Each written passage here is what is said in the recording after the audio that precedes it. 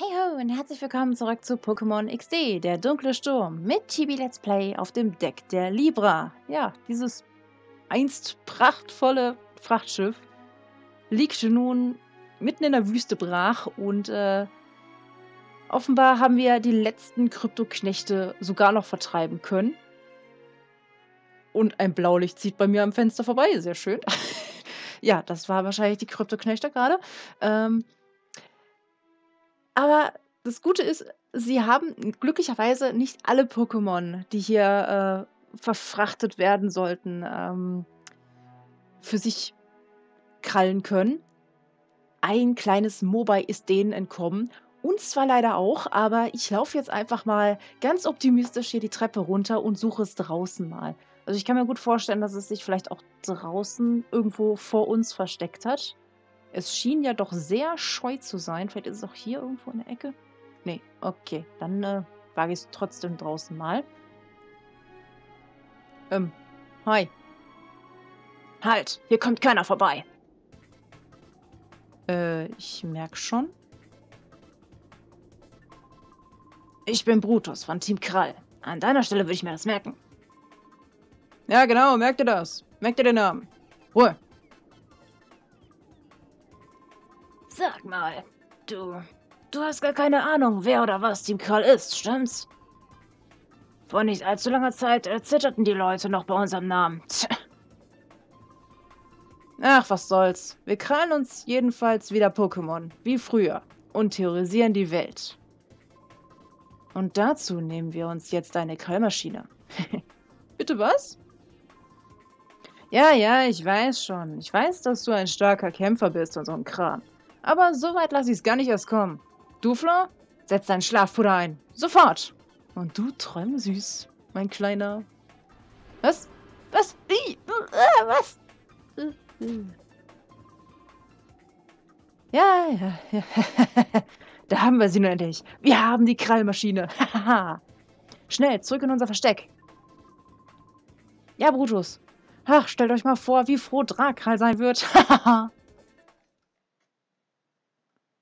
Äh, was, was, was, wo, wo bin ich? Oh, es war kein Traum. Verdammt. Oh, hier bin ich. Oh. Hey, hi, mein Freund. Hi. Bist du endlich wach? Die haben sie ja übel mitgespielt. Geht es wieder? Ja.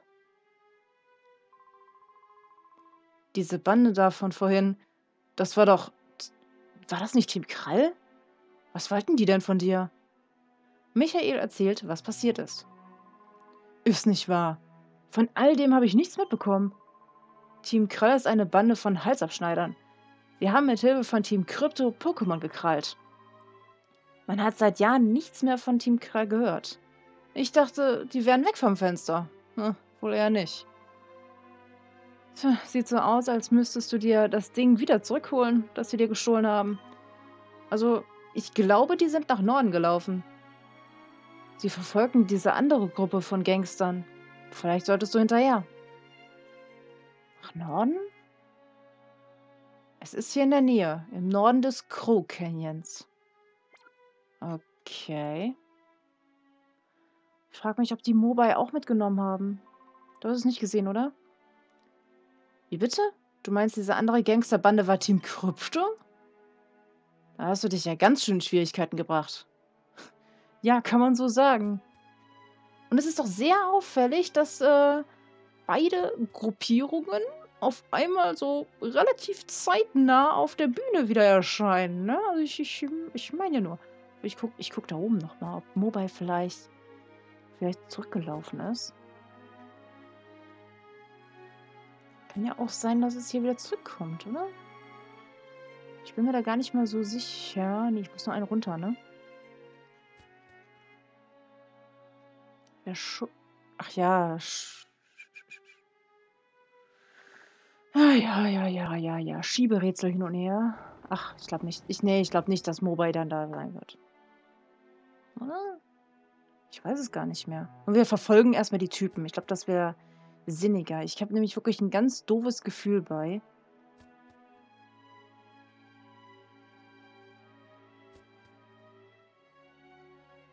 Ganz doofes. Ach, und da fällt mir ein, ich wollte ja mal wieder beim P-Sternchen DA reingucken. Wegen unseren Krypto-Pokémon. Ah, okay, die brauchen noch. Die brauchen alle noch. Trasser können wir erlösen. Wäre vielleicht jetzt auch gar nicht mal so verkehrt, dass wir dann quasi das sechste Teammitglied willkommen heißen können. Ich hatte nämlich lange, wirklich sehr lange überlegt, ähm, ob wir jetzt Trassler oder Pupanz ins Team nehmen. Ich dachte mir, irgendein Psycho-Pokémon wäre schon ganz praktisch. Im Kampf gegen diverse Gift-Pokémon und alledem.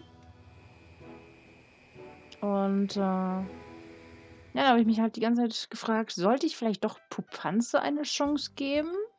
Ich meine, Bodentyp in Kombination mit Psycho könnte ich mir sehr gut vorstellen. Und ähm, zumal ist, äh, ist äh, Lepomentas, die Weiterentwicklung, ja auch so ein bisschen tanky. Angeblich, soweit ich mich erinnern kann. Aber andererseits, seien wir mal ehrlich, unser süßes kleines Dressler ist jetzt als erstes dran mit einer Erlösung. Also darf es auch als erstes ins Team. Würde ich mal sagen. Dann kann es sich da austoben. Wir bräuchten allerdings, ja, noch ein sogenanntes intaktes Pokémon. Damit der letzte Funken Liebe überspringt. Und das darf mein Helferlein sehr gern übernehmen. Also dann würde ich sagen, let's go.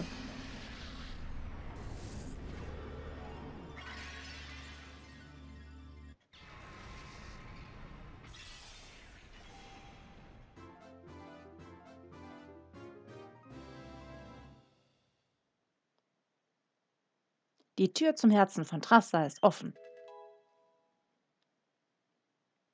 Trassa erinnert sich nun an die Attacke Schockwelle. Oh, interessant. Eine recht zuverlässige Elektroattacke. Und Trassa erinnert sich nun wieder an die Attacke Gesang. Yay, und ein Bändchen noch dazu. Gut. Jetzt muss ich hier natürlich wieder darauf zugreifen. Denn zum einen möchte ich meinen Helferlein gerne wieder ins Team zurückholen. Und da in der Box sehen wir auch schon das kleine Trasler. So. Willkommen im Team. Auf Dauer, hoffe ich. Wobei wir halt, wie gesagt, sehr viele interessante Alternativen haben. Ich meine, Tanzer bzw. Ähm, ähm, Postelke, Stahl, Käfer, auch Tanky könnte man auch drüber nachdenken. Nacho, Flug Psycho, wird zu Skato. Auch nicht verkehrt. Also, ähm, klar, hätten wir jetzt Flamara nicht äh, als Starter gehabt, hätte ich mich auch damals für Hunduster entschieden und alles Mögliche. Also, man kann ja wirklich auf vielerlei Arten ein richtig gutes Team zusammenklöppeln. So, ähm, dann mache ich das bitte einmal so rum und einmal so rum, denn Trassler braucht nun Erfahrungspunkte. Ähm, wie viel hast du denn noch? Äh, ja, gut, machen wir das mal so. Ich nehme dir mal bitte den EP-Zahler weg und gebe den Trassler. Wo ist er? Wahrscheinlich ganz unten jetzt, ne? Natürlich. Oh Mann, haben wir viel Kram hier. Okay. So, einen Krümlöffel kriegst du bald wieder. Der verstärkt immerhin Psychoattacken. Um Seemobs müssen wir uns später auch noch kümmern, aber erstmal ihr beiden. Da habe ich so ein bisschen was im Hinterkopf. Äh, und ich glaube, das machen wir am besten... Wo machen wir das denn? Ich würde sagen, beim Duellplatz. Dann können wir vielleicht noch ein bisschen Geld verdienen. Apropos, einmal ganz kurz gucken. Wie viel haben wir? 6000 paar zerquetschte. Also ist noch Luft nach oben sehr viel Luft nach oben. Äh, doch, hier. Pyritus? Düsen wir mal hin.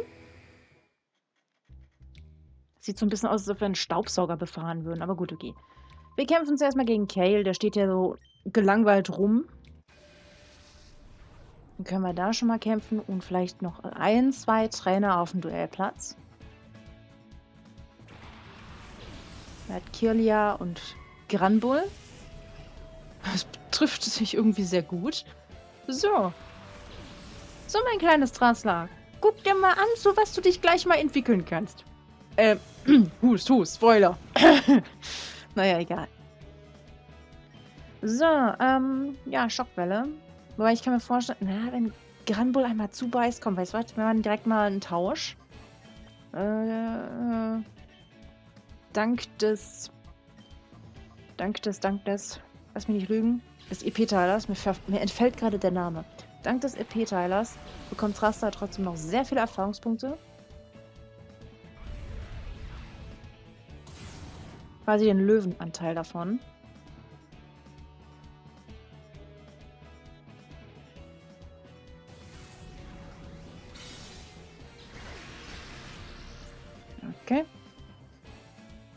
Guter Treffer, aber gut eingesteckt. Ähm, von einem Tackle so viel?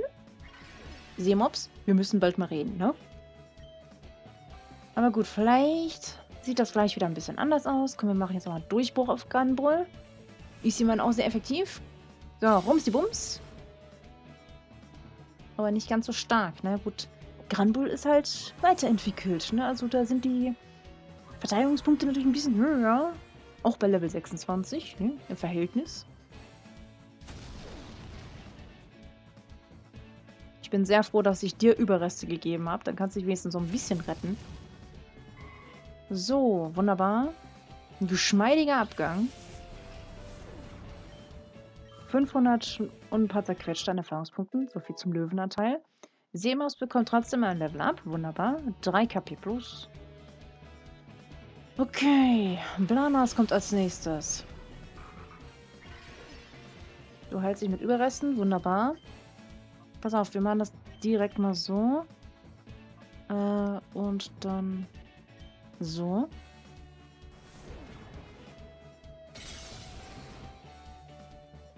So, wir haben den Lichtschild damit auch zerstört.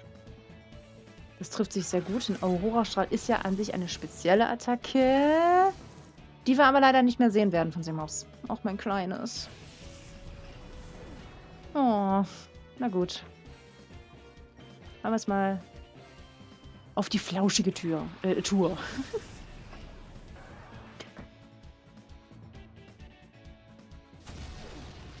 ja. Das viele Plüsch hat's abgefangen. Dafür kriegst du jetzt einen Flammenwurf zu spüren und ähm, wir nehmen auch nochmal einen Durchbruch von Helferlein. Vielleicht kommt es ja auch gleich zum großen Durchbruch hier im Let's Play. Man weiß es nicht. so. Oh, ein Hundemon. Interessant. Ach, sieht schon irgendwie majestätisch aus. Wie soll ich sagen? Gut, es ist halt eine Anlehnung auf einen Dobermann, und Hades. Also es ist irgendwie schon sehr cool. Ah gut. Dafür haben wir ein super flauschiges Flamara. Also von daher, ich bin zufrieden mit dem, was wir haben.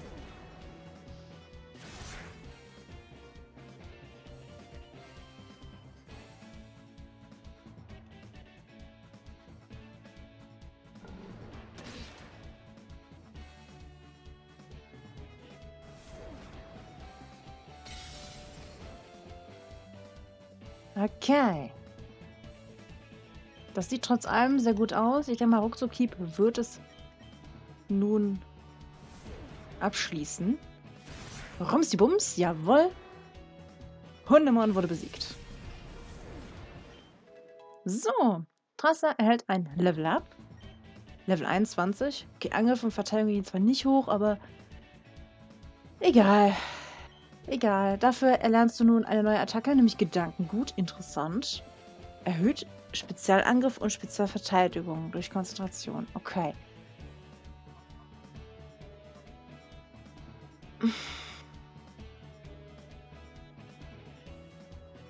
Ich erinnere mich an Wablu. Unser kleines, flauschiges Wablu, das wir ja mal trainiert haben bei Pokémon Colosseum, was ja auch Gesang hatte. Wo ich auch dachte, ja, Gesang ist eigentlich eine gute Idee, von wegen, wir können die Gegner einschläfern, aber es trifft ja nicht immer. Also Genauigkeit 55, das ist ja, ja. Hm. Kann man darauf verzichten, ne? Vor allem... Nee, Schockwelle kann nicht paralysieren.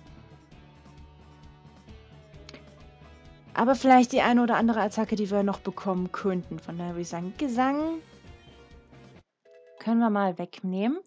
Auch wenn Trasla mit Sicherheit eine wunderschöne Säuselstimme hat, kann ich mir sehr gut vorstellen, verzichten wir darauf. So, und Flamari hat auch noch ein Level Up. Wuhu, wunderbar. Und wir haben Kale erneut besiegt. Danke für das wunderbare Rematch. Ich dachte, mein Team sei stark. Naja, ist es schon, aber äh, meins ist besser. Huch, Trasla entwickelt sich. Ja, sowas.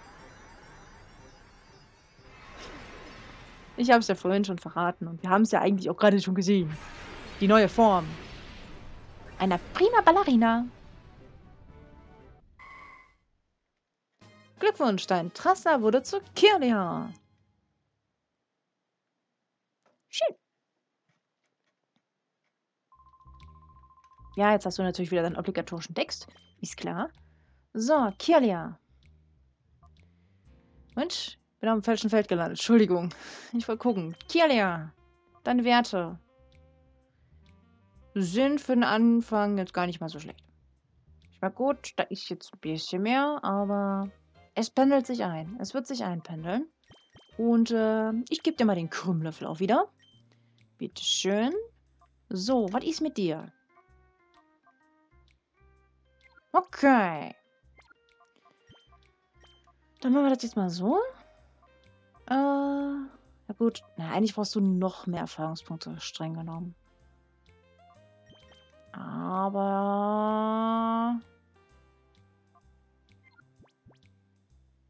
Wie viel Zeit haben wir? Ja, wir haben nicht mehr so viel Zeit. Nee, dann machen wir das jetzt anders. Für diesen Part möchte ich das bitte so haben, wie es jetzt gerade ist. Ich gehe noch mal ganz kurz zum Pokémon Center, oder beziehungsweise halt zur Pyritus... Ach, nee, Kolosseum heißt es ja hier. Zum Pyritus Kolosseum. Äh, wo ja auch ein Vitalisator zur Verfügung steht. So.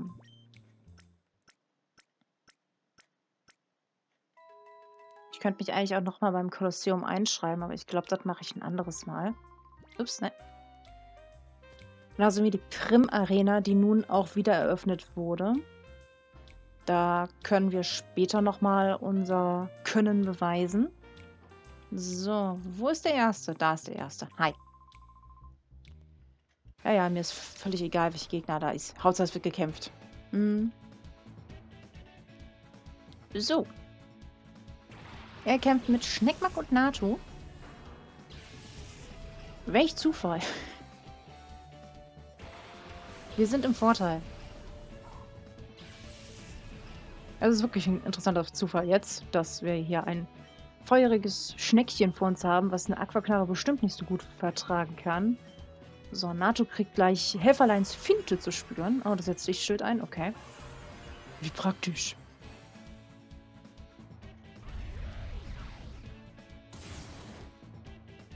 So.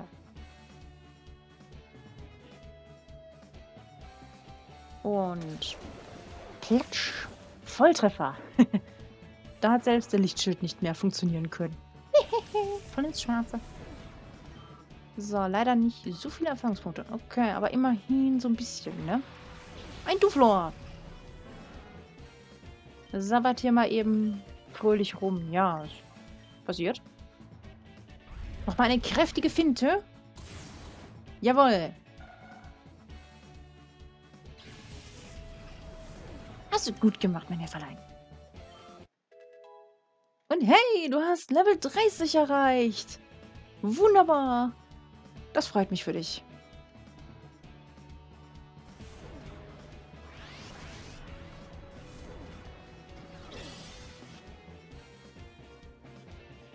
Jetzt kriegst du es wieder. Bam, jetzt siehst du Farben. nom, nom, nom. Will gar nicht wissen, was für Reste unser kleines Seemöpschen da die ganze Zeit knabbert. Okay, das war nicht so stark, aber immerhin ein bisschen. Und ich denke, der nächste Aurora-Strahl wird den Rest erledigen. Ja, nein, vielleicht. Ja, sicher. Warum zweifeln? Yay! So. Okay. Yay, wir haben gewonnen! Gut. Wieder ein bisschen Geld verdient. Nicht viel, aber immerhin. Oh! Ja. Helferlein! Plausch, Du plausch. entwickelst dich ja. Helferlein. Helferlein, Helferlein. Lein, Lein.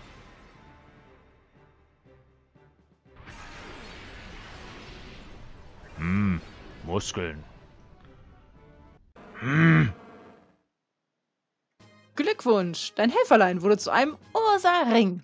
Muskeln. Jo, finde ich super. Super, super. Richtig super.